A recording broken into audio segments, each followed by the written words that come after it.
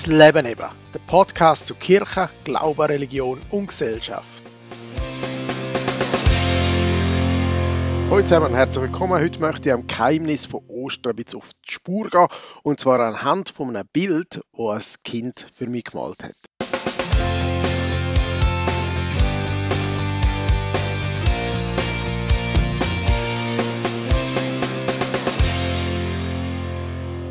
Also, Ostern, Geheimnis. Dem Geheimnis möchte ich auf die Spur gehen. Und zwar das Jahr ein bisschen anders als in anderen Jahren. Anhand nämlich von einem Bild, das ein Kind gemalt hat. Es ist nämlich so, dass im November im Religionsunterricht bei mir das Thema Tod war. Und zwar nicht nur einfach Tod, sondern auch, wie es weitergeht nach dem Tod. Zu erkennen, der Tod ist nicht das absolute Ende. Wir haben uns intensiv am Anfang mit Ritual vom Abschied nehmen und so weiter beschäftigt und dann eben, wie es der christliche Glaube sieht, wie es weitergeht. Und am Schluss haben die Kinder müssen ein Bild vom Leben nach dem Tod zeichnen, so wie sie sich das vorstellen. Ein Mädchen in der Klasse, wo ein Down-Syndrom hat, ist während dem ganzen Thema sehr ruhig gewesen. Ich habe aber gespürt, dass sie sich sehr intensiv mit dem Thema beschäftigt und sich ganz viel Gedanken wahrscheinlich macht. Und ich habe mir immer wieder überlegt, was geht in ihrem kleinen Hirn wohl vor. Gerne hätte ich mehr erfahren darüber, aber sie ist die ganze Zeit eben halt einfach ruhig geblieben, hat auch nicht nachgefragt, auch wenn ich etwas gefragt habe, sie hat nicht groß eine Antwort gegeben. Und dann haben sie den Auftrag gekriegt vom Bildzeichner. Und da ist bei ihr ein geniales Werk rausgekommen. Nämlich das Werk, das ich jetzt euch möchte vorstellen, das ich euch möchte. Ihr könnt euch das in den Gedanken vorstellen, wie das Bild rausgekommen ist von dem Mädchen. Ich probiere es möglichst gut zu erklären. So geheimnisvoll wie das Mädchen für mich ist, so geheimnisvoll ist nämlich auch ihre Zeichnung rausgekommen vom Leben nach dem Tod. Sie hat mir selber nicht viel über das Bild gesagt, nur als ich dann gefragt habe, ob ich es darf brauchen für den heutigen Podcast und Kolumne in der Zeitung, hat sie ihr Einverständnis gegeben.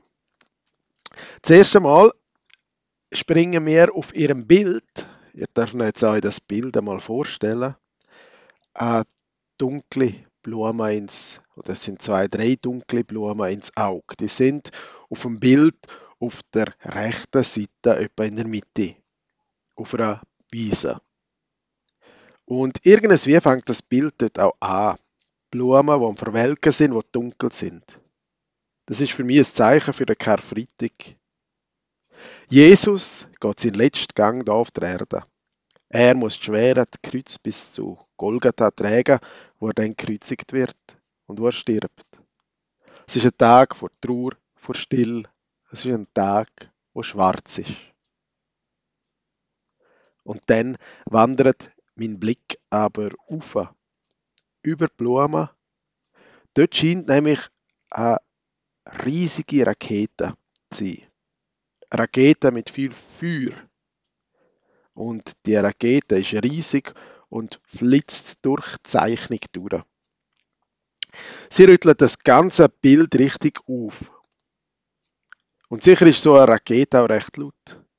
Und genau so ist es doch jetzt an Ostern passiert. Im Matthäus-Evangelium hören wir und können wir lesen, wie Maria aus Magdala und die andere Maria am Sabbat nach dem Grab von Jesus schauen. Und dort trifft sie ein gewaltiges Erdbeben. Und der Engel vom Herr kommt auf sie aber und das Baby rüttelt die Frauen richtig durch und sie haben auch Angst, sie kommen nicht mehr raus. Was los ist? Was ist passiert? Doch der Engel sagt zu ihnen, Habt keine Angst, fürchten euch nicht. Ich weiß, ihr sucht Jesus der Kreuzigt. Der ist aber nicht da, denn er ist auferstanden, so, so wie er es euch gesagt hat. Das können wir nachlesen im Matthäus-Evangelium, Kapitel 28, Vers 5. Die Frauen haben sich im Grab umgeschaut und sind dann davon gesprungen.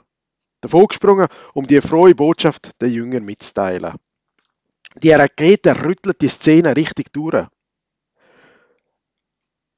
Sie ist so riesig und passt irgendwie nicht ins Bild und dann doch wieder ins Bild.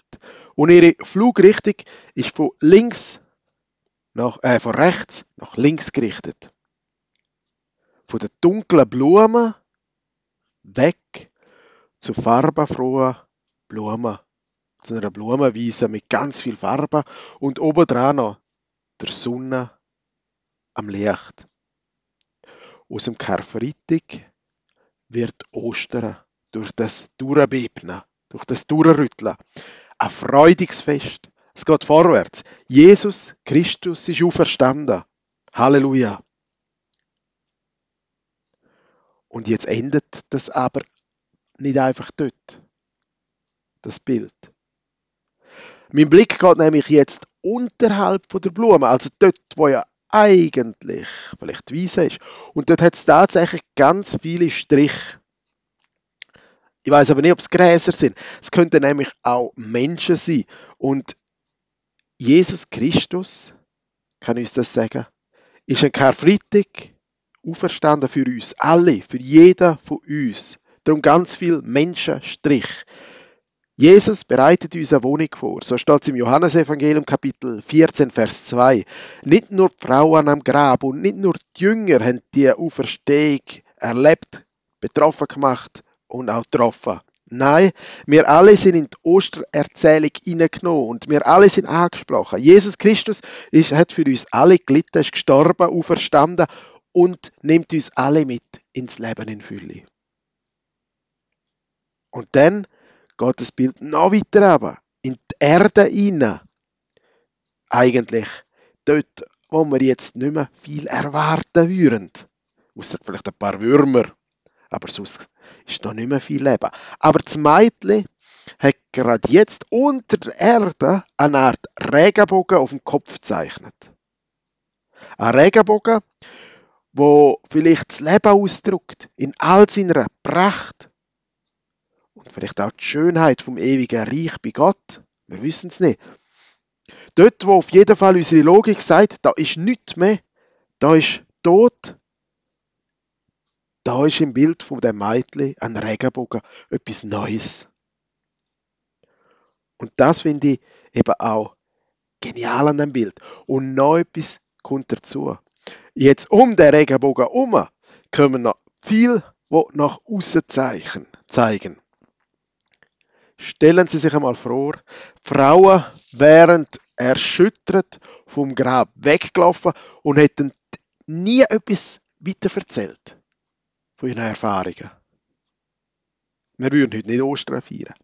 Das Christentum wäre nicht entstanden und die kleine Anhänger Jesus-Gruppe wäre irgendwann auseinandergegangen und wir würden heute nicht wie Ostern feiern, wir würden heute nicht wissen, was es geht. Wir hätten nie von dieser Auferstehung erfahren.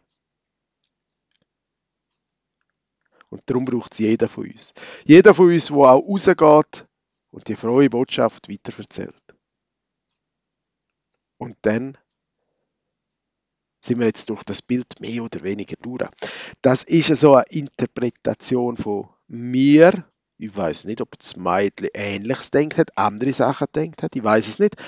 Aber auf jeden Fall, das Bild kann uns Hoffnung schenken. Hoffnung in einer komplizierten und komplexen Welt von heute.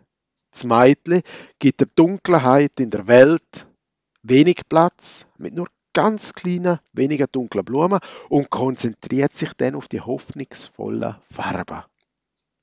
Und genau so ist es doch mit unserem Glauben. Wie das Bild ist letzten Endes auch unser Glaube bis zum Schluss ein Geheimnis. Ostern bleibt ein großes Geheimnis. Aber wir können daraus Kraft schöpfen für den Alltag. Zu wissen, dass nach einer ausweglosen Situation plötzlich etwas Neues entstehen kann.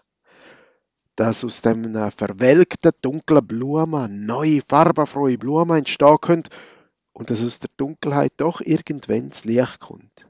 Das ist Ostern. Ich möchte mich ganz herzlich bei der Alessia bedanken, wo das Bild gemalt hat. Ich wünsche Ihnen allen ganz ein frohes und hoffnungsvolles Osterfest. Das Leben eben, der Podcast zu Kirche, Glaube, Religion und Gesellschaft.